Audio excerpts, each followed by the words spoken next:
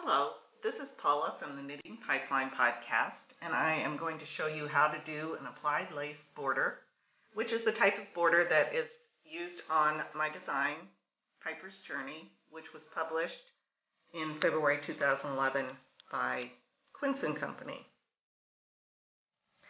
My swatch here has the live stitches. This would correspond to this part of your shawl. It would be here, okay?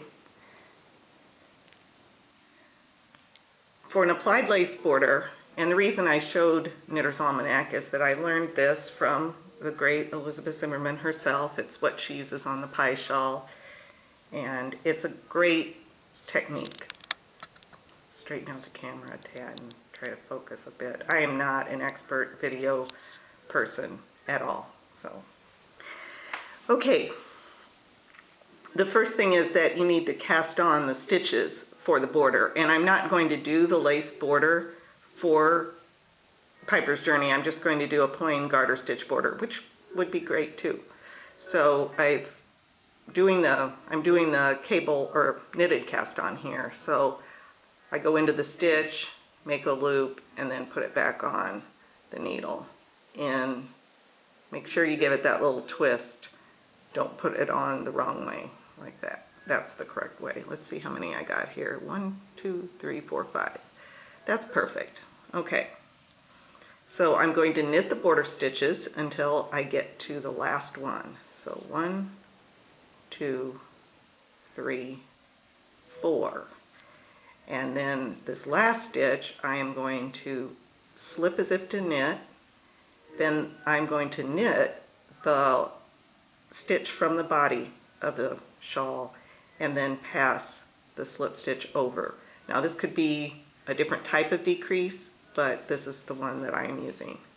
And then I turn my work and I like to slip the first stitch. It could be knitted, but I generally slip as if to purl and then knit back. So I've taken care of one stitch on the body of the shawl. You might find this easier to use a double pointed needle in your right hand, but I can't do that for the video because it bumps into the table. Okay, one, two, three, four. Now, of course, if you were doing Piper's Journey, you would be following the chart. Remember that? I'm sure you'd figure that out. And then this is the last stitch on the border that's closest to the body. Slip it as if to knit, knit one, pass slip stitch over.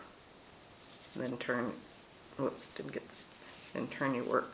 Now, the reason you might like this border is that number one, it is not difficult to have a flexible edge. You automatically will have a flexible edge.